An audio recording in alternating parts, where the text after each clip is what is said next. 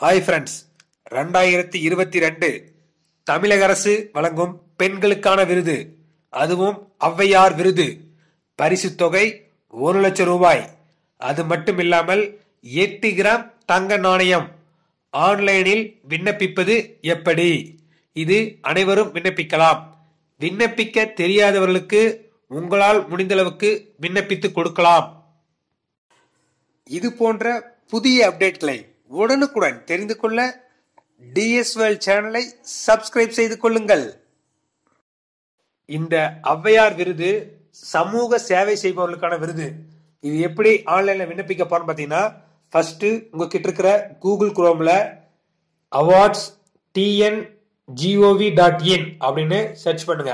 Search பண்ணீங்கன்னா awards dot TN dot GOV dot in அப்படின்னு ஃபர்ஸ்ட்லயே வரும். அந்த வெப்சைட்டை கிளிக் பண்ணுங்க. அந்த வெப்சைட்டை கிளிக் பண்ணீங்கன்னா தமிழக முதல்வர் மு க ஸ்டாலின் அவர்கள் படம் போட்டிருக்கோம். தமிழ்நாடு அரசு விருதுகள் இணைய முகப்புன்னு போட்டிருக்கோம். ஸோ அந்த பேஜ் இருக்குதுங்களா? அந்த பேஜ் வந்ததுக்கு அப்புறம் அதில் பாருங்க முகப்பக்கம் அறிவிப்புகள் அப்படின்னு போட்டிருக்கோம். அந்த அறிவிப்புகள் பக்கத்தில் பார்த்தீங்கன்னா நியூன்னு போட்டிருக்கோம். அந்த அறிவிப்புகளை நீங்கள் கிளிக் பண்ணணும். அறிவிப்புகள் கிளிக் பண்ணால் உங்களுக்கு ஔவையார் விருதுகள் அது மட்டும் இல்லாமல் மத்திய அரசு விருதுகள்லாம் போட்டிருக்கோம். இதில் வந்து அதெல்லாம் நீ கஷ்டப்பட பண்ண தேவையில்ல. ஔவையார் விருது மட்டும் எப்படி அப்ளை பண்ணலாம் அப்படின்ற டீட்டெயிலோ அது தமிழ்நாடு கவர்மெண்ட் கெசட்ல வெளியிட்டிருக்காங்க. அந்த டீட்டெயில் தான் இப்ப நீங்க பார்த்துட்டு இருக்கீங்க application are invite Avvaiyar award இது பார்த்தீங்கன்னா ஏஜ் வந்து எபோவ் எயிட்டீன் மேலே இருந்தால் போதும். சமூக சேவை செய்கிறவங்க அந்த மாதிரி இருக்கிறவங்க நீங்கள் அப்ளை பண்ணலாம். இது வந்து ஃபர்ஸ்ட் வந்து லாஸ்ட் டேட் வந்து டுவெண்ட்டி ஜனவரி தான் போட்டிருந்தாங்க. ஆனால் அதுக்கப்புறம் ஒரு டென் டேஸ் எக்ஸ்டெண்ட் பண்ணியிருக்காங்க. முப்பத்தி ஒன்று ஜனவரி ரெண்டாயிரத்தி இருபத்தி ரெண்டு வரைக்கும் நீங்கள் அப்ளை பண்ணலாம் அப்படின்ற மாதிரி சொல்லியிருக்காங்க. இதோட பரிசு தொகை அப்படின்றது பார்த்தீங்கன்னா ஔவையார் விருதுக்கு எட்டு கிராம் கோல்டு காயினும் ஒரு லட்சம் ரூபாய் ரொக்க பரிசு தொகையும் கவர்மெண்ட் கெசட்லேயே போட்டிருக்காங்க. ஆர்டரில் பா போட்டிருக்காங்க.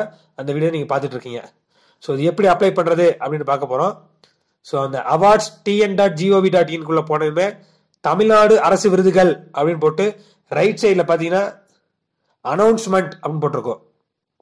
அதுக்கு கீழே பாருங்க. அனைத்து மாவட்டங்களிலிருந்தும் ஔவையார் விருது ரெண்டாயிரத்தி இருபத்தி ரெண்டுக்கான விண்ணப்பங்கள் வரவேற்கப்படுகின்றன. பதிவு செய்வதற்கான கடைசி நாள் முப்பத்தி ஒன்று ஒன்று ரெண்டாயிரத்தி இருபத்தி ரெண்டு அப்படின்னு போட்டிருக்குங்களா?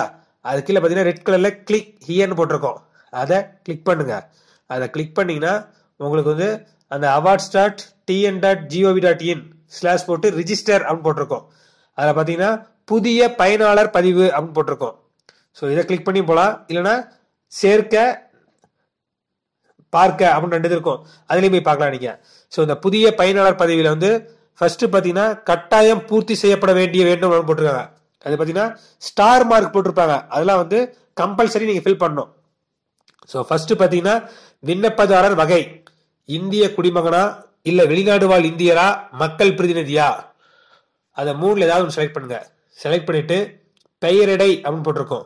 அதில் பார்த்தீங்கன்னா திரு திருமதி செல்வன் செல்வி அப்படின்னு போட்டிருக்கோம். அதில் ஏதாவது செலக்ட் பண்ணிட்டு ஆதார் நேமு. ஆதார் கார்டில் இருக்க மாதிரி நேமு. கரெக்டாக டைப் பண்ணுங்க. அடுத்தது பார்த்தீங்கன்னா பிறந்த தேதி. அது வந்து பதினெட்டு வயது வரைக்கும் மேலே இருக்கணும். நீங்கள் ஃபில் பண்ணுறதுக்கு முன்னாடி டேட்டு மந்த்து இயர் செலக்ட் பண்ணிக்கலாம் ஆட்டோமேட்டிக்காக டிஃபால்ட்டாக வந்துடும் நெக்ஸ்ட்டு பாலினம். ஆனா பெண்ணா இல்லை ஏனையோர். அதில் மூணில் ஏதாவது ஒன்று செலக்ட் பண்ணிக்கிறோம். நெக்ஸ்ட்டு பார்த்தீங்கன்னா உங்களுடைய மொபைல் நம்பர் இது ரொம்ப முக்கியம். நாளை காண்டாக்ட் பண்ணுறதா அந்த மொபைல் நம்பர் தான் காண்டாக்ட் பண்ணுவாங்க. அடுத்து வந்து மின்னஞ்சல் இமெயில் ஐடி இமெயில் ஐடி ரொம்ப இம்பார்ட்டன்ட் ஏன்னா இதை ரிஜிஸ்டர் பண்ணிட்டு நீங்கள் அந்த லிங்கை ஓப்பன் பண்ணுறதுக்கு இந்த இமெயில் ஐடி வேணும். ஸோ இமெயில் ஐடி கரெக்டாக போடுங்க. இமெயில் ஐடி போட்டதுக்கப்புறம் உங்கள் வீட்டு அட்ரஸ்ஸு முகவரி அது பார்த்தீங்கன்னா ஆதார் கார்டில் இருக்கிற மாதிரி தெல்லாம் தெளிவாக ஃபில் பண்ணுங்கள் பின்கோடு லேண்ட்மார்க்கு இதெல்லாம் கரெக்டாக ஃபில் பண்ணுங்கள் ஃபில் பண்ணதுக்கப்புறம் பாதுகாப்பு குறியீடு. அதில் பார்த்தீங்க பக்கத்தில் ப்ளூ கலரில் பக்கத்தில் பிளாக் நம்பர் போட்டிருப்பாங்க. அந்த நம்பர் அதாவது கேப்சா கொடுத்துருக்காங்க பாதுகாப்பு குறியீடுன்றது. அந்த நம்பர் டைப் பண்ணிவிட்டு சப்மிட் கொடுத்தீங்கன்னா உங்களுக்கு வந்து நாமினி ரிஜிஸ்ட்ரேஷன் சக்ஸஸ்ஃபுல்லி அப்படின்னு வரும். இவங்களுடைய யூசர் நேம் வந்து உங்களோட மெயில் ஐடி தான். பாஸ்வேர்டு வந்து கொடுத்துருப்பாங்க. டிஃபால்ட்டாக ஒரு பாஸ்வேர்டு அந்த பாஸ்வேர்டை காப்பி பண்ணி நீங்கள் சேஞ்ச் பண்ணிக்கலாம். இப்போ அந்த பாஸ்வேர்டு வச்சு கூட நீங்கள் யூஸ் பண்ணிக்கலாம். நெக்ஸ்ட் வந்து அதுக்கு கீழே பாருங்க. Kindly note down the user name password the future reference அது நோட் பண்ண சொல்லிக்கிறேன் நான் சொன்ன மாதிரி தான். அது கீழே ரெட் கலரில் கிளிக் கியர் டு லாகின் இருக்கு பார்த்தீங்களா? அதை கிளிக் பண்ணுங்க. அதை கிளிக் பண்ணீங்கன்னா உங்களுக்கு வந்து மின்னஞ்சல் கடவுச்சொல் பாதுகாப்பு குறின்னு வரும். அது உள்நுழைங்க லாகின் பண்ணி உள்ளே போகிறீங்க ஸோ அந்த இமெயில் ஐடி பாஸ்வேர்டு இந்த பாதுகாப்பு குறியோட கீழே என்ன போட்டிருக்கோ அதை போட்டு உள்ளே போகலாம் ஸோ உள்ளே போனதுமே பயனாளர் நேம் வரும். உங்களுடைய நேமு ஃபோட்டோ அப்லோட் பண்ணுறது ஃபீச்சர் அப்லோட் பண்ணுவோம். இதில் ஏதாவது டீட்டெயில் இருந்தால் ஒரு டவுட் வந்தால் நீங்கள் கமெண்ட்டில் டைப் பண்ணுங்கள் உங்களுக்கான டீட்டெயில் அங்கே போட்டு தரோம். அது மட்டும் இல்லாமல் நெக்ஸ்ட்டு பார்த்தீங்கன்னா பயனாளர் விவரங்களை ஒரு முறை உள்ளீடு செய்ய இங்கே சொடுக்கும் அதாவது அங்கே கிளிக் பண்ண சொல்கிறாங்க ஸோ அதெல்லாம் படித்து பார்த்து என்ன விவரங்கள் அப்படின்றத நீங்கள் கிளிக் பண்ணலாம். ஸோ அந்த பயனாளர் விவரங்களை ஒரு முறை உள்ளீடு செய்ய சொடுக்கணும் போட்டிருக்கீங்களா? அதை கிளிக் பண்ணுங்கள் அதை கிளிக் பண்ணிங்கன்னா விண்ணப்பதாரர் விவரங்கள் விண்ணப்ப விவரங்கள் கடவு சொல்ல மாற்ற அதாவது பாஸ்வேர்டு சேஞ்ச் பண்றது பார்வையிடுறது வெளியேறது. வெளியேறுனா லாக் அவுட் பண்ணி வெளியேறது தான் தமிழ்ல. ஓகேங்களா? ஸோ இந்த விண்ணப்பதாரர் விவரங்கள்ல சேர்க்க பார்க்க. இது ரெண்டு ஆப்ஷன் இருக்கு. ஃபர்ஸ்ட் நீங்க சேர்த்திருந்தா மட்டும்தான் நீங்க பார்க்க முடியும். ஸோ ஃபர்ஸ்ட் என்ன பண்றீங்க? சேர்க்கிறீங்க. சேர்க்கன்னு கொடுத்துட்டு தனிப்பட்ட விவரங்கள் அப்படின்னு வரும். விண்ணப்பதாரோட விவரங்கள் தாங்க போடணும். நீங்க ரிஜிஸ்டர் பண்ண நேம் போடக்கூடாது. யாரு சமூக சேவை செய்யறாங்களோ அவங்களுக்கான தொண்டு தொண்டுக்கான விருது தான் இந்த விருது. சமூக சேவை தொண்டுக்கான விருது. ஔவையார் விருது. இந்த தனிப்பட்ட விவரங்களை நீங்க டைப் பண்றீங்க. தேர்வு செய்கிற இடத்துல உங்க பேர் இருக்கும். அதை எடிட் பண்ணி மாத்திக்கலாம். இல்ல நீங்க தான் அந்த விருது அப்ளை பண்றீங்கன்னா உங்க நேமே வச்சுக்கிட்டு தேர்வு செய்க அப்படின்னு இருக்கும் நெக்ஸ்ட் விண்ணப்பம். அதுல தனிப்பட்ட இல்ல சரி தனக்காக இல்ல பிறருக்காக போட்டிருக்கோம். தனக்காக கொடுத்தீங்கன்னா ஏற்கனவே கொடுத்த எல்லா டீட்டெயிலும் அப்படியே டிஃபால்ட்டா வந்துடும் பிறருக்காக கொடுத்தீங்கன்னா எல்லா டீட்டெயிலும் நீங்கள் என்ட்ரி பண்ணணும். திருமதி பெயர் தமிழில் டைப் பண்ணணும். இங்கிலீஷில் டைப் பண்ணதுக்கப்புறம் தமிழையும் டைப் பண்ணுவோம் உங்க அப்புறம் பாலினம் பிறந்த தேதி ஏற்கனவே சொன்ன மாதிரி தான் டேட்டு மந்த்து இயர் செலக்ட் பண்ணும் வயது ஆட்டோமேட்டிக்காக டிஃபால்ட் எடுத்துக்கும். மின்னஞ்சல் அதை ஆட்டோமேட்டிக் எடுத்துக்கும். தனக்காக கொடுத்துருந்தா பிறருக்காக கொடுத்துருந்தா நீ இது எல்லாமே டைப் பண்ணிட்டு வரணும். மொபைல் நம்பர் மொபைல் நம்பரும் கரெக்டாக டைப் பண்ணிடுங்க. நெக்ஸ்ட் பார்த்தீங்கன்னா ஆதார் எண். இது ரொம்ப முக்கியமானது. ஆதார் எண் செக் பண்ணுவாங்க. ஆதார் எண் டுவெல் டிஜிட்டை கரெக்டாக என்டர் பண்ணுங்கள் நெக்ஸ்ட் வந்து தந்தையின் பெயர் அது தாயின் பெயர். உங்கள் அப்பா பேர் இல்லை அம்மா பேர் ஏதாவது என்டர் பண்ணுங்கள் நெக்ஸ்ட் கூடுதல் கைபேசி எண். உங்கள் மொபைலில் ரீசார்ஜ் பண்ணாமல் விட்டுருந்தா கூட சப்போஸ் கட் ஆயிருக்கு ஆளு. அந்த மாதிரி நேரத்தில் இந்த மொபைல் நம்பர் கொடுத்து வைக்கிறது பெட்ரு ஸோ இன்னொரு மொபைல் நம்பரை கொடுத்து வச்சுக்கோங்க. நெக்ஸ்ட் பார்த்தீங்கன்னா விண்ணப்பதாரர் புகைப்படம். உங்களோட ஃபோட்டோ வந்து ஐம்பது எம்பி சாரி நூறு கேபிக்குள்ளே இருக்கணும். ஜேபிஇ ஃபார்மேட்டில் இருக்கணும். அதை வந்து சூஸ் பையில் கொடுத்து டெஸ்க்டாப்பில் வச்சுருப்பீங்களா அதை அப்லோட் பண்ணுங்கள் நெக்ஸ்ட்டு முகவரி.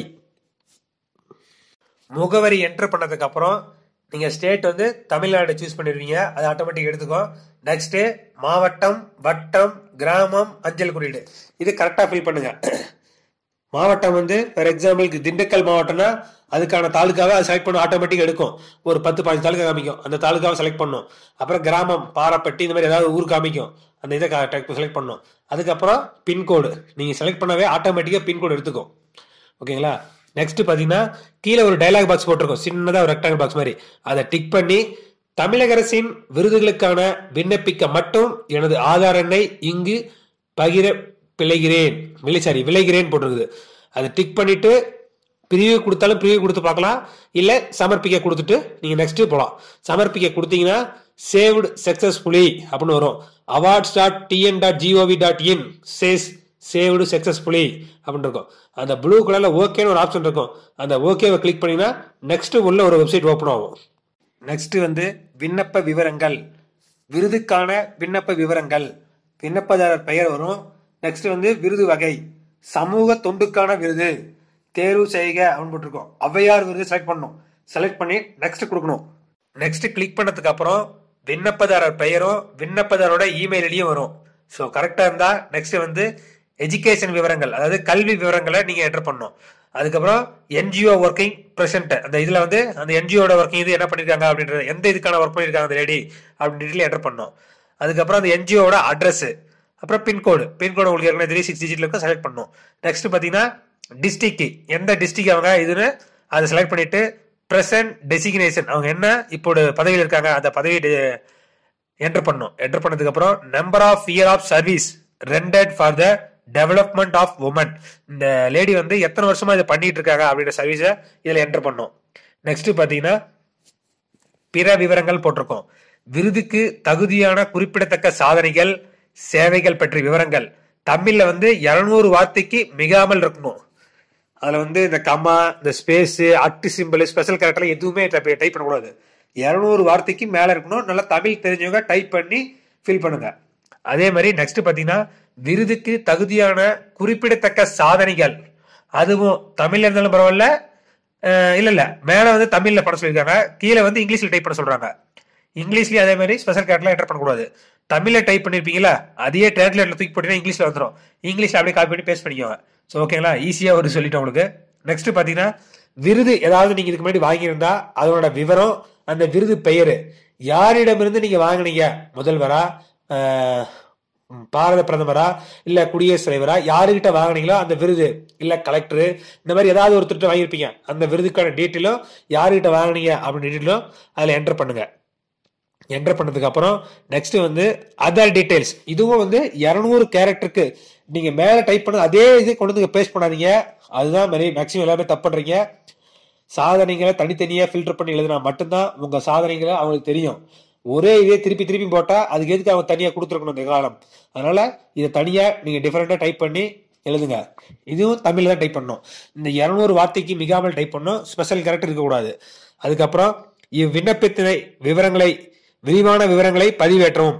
உங்களுக்கு ஏதாவது ஒயிட் ஷீட்டில் ஏதாவது ஃபில் பண்ணியிருந்தா கூட அதை ஃபில் பண்ணி எழுதிட்டு அது வந்து ஒன் எம்பிக்குள்ளே அந்த ஃபைலில் வந்து அட்டாச் பண்ணலாம். இல்லை சர்டிஃபிகேட் ஏதாவது வாங்கியிருப்பீங்கள அந்த சர்டிஃபிகேட்ஸும் எல்லாம் சிங்கிள் ஃபைலாக வச்சு அட்டாச் பண்ணலாம் நீங்கள் நெக்ஸ்ட் பார்த்தீங்கன்னா இவ் விண்ணப்பத்திற்கான முழு விவரங்கள் சான்றிதழ் இதர ஆவணங்கள். முன்ன சொன்னதுதான் அதில் வந்து நீங்கள் ஃபில் பண்ணதுக்கான எழுதிடலாம். ஏதாவது ஒயிட் ஷீட்டில் எழுதியிருந்தா இதில் வந்து சர்டிபிகேட் ஏதாவது வாங்கியிருந்தா நீங்கள் அப்லோட் பண்ணலாம். இதெல்லாம் வந்து கம்பல்சரி டாக்குமெண்ட்டு சாரி ஃபர்ஸ்ட் இருக்கிறது கம்பல்சரி ரெண்டாவது இருக்கிறது சர்டிஃபிகேட் இருந்தால் நீங்கள் அப்ளை பண்ணலாம் இல்லைனா விட்டலாம் ஸோ ஒன்றும் பிரச்சனை கிடையாது. நெக்ஸ்ட் வந்து நீங்கள் சமர்ப்பிக்க அப்படின்றத கொடுத்தீங்கன்னா awards dot TN dot GOV dot in என்ன சொல்லுதுன்னு பார்த்தீங்கன்னா சேவ்டு சக்ஸஸ்ஃபுல்லி அப்படின்னு வரும். சேவ்டு சக்ஸஸ்ஃபுல்னா நீங்கள் சப்மிட் பண்ணீங்க டாக்குமெண்ட்டு இது விருதை அவங்க வெரிஃபை பண்ணுவாங்க. வெரிஃபை பண்ணிவிட்டு நீங்கள் ஃபில் பண்ண சர்டிஃபிகேட் டீட்டெயில் எல்லாத்தையும் வெரிஃபை பண்ணிவிட்டு நீங்கள் தேர்வானா மார்ச் எட்டாம் தேதி. உலக மகளிர் தினத்தன்று இந்த விருது வந்து மாண்புமிகு தமிழக முதல்வர் மு க ஸ்டாலின் அவர்களால் அறிவிக்கப்பட்டு அந்த விருது அவர்கள் கையால கிடைக்கும் அப்படின்ற மாதிரி சொல்லியிருக்காங்க. இந்த அவையார் விருது. இந்த வீடியோ உங்களால் முடிந்தளவுக்கு சமூக வலைதளங்களான ஃபேஸ்புக் வாட்ஸ்அப் ட்விட்டர் மற்றும் இன்ஸ்டாகிராமில் ஷேர் செய்யவும். அது மட்டும் இல்லாமல் உங்களுக்கு பயனுள்ளதாக இல்லை என்றால் மற்றவர்களுக்கும் உங்கள் நெருங்கிய நண்பர்களுக்கும் பயனுள்ளதாக இருக்கும் என நம்புகிறோம். அதனால் ஷேர் செய்யவும். மாஸ்க் யூஸ் பண்ணுங்க சானிடைசர் யூஸ் பண்ணுங்க. இது வரைக்கும் தடுப்பூசி போடாதவர்கள் தடுப்பூசி போட்டுக்கோங்க. மாஸ்கை குப்பையிலேயோ ரோட்லேயோ போடாதீர்கள். ஏன்னா மனிதர்களுக்கு மட்டுமல்ல விலங்குகளுக்கும் பரவும் என்ற அபாயம் எழுந்துள்ளது. இது பொதுமக்கள் நலன் கருதி வெளியிடுவோர். இதுவரைக்கும் நம்ம வீடியோ ஸ்கிப் பண்ணாம பார்த்ததுக்கு நன்றி. லைக் பண்ணுங்க ஷேர் பண்ணுங்க தப்பாச்சு பண்ணுங்க. விளையாட்டுக்குங்க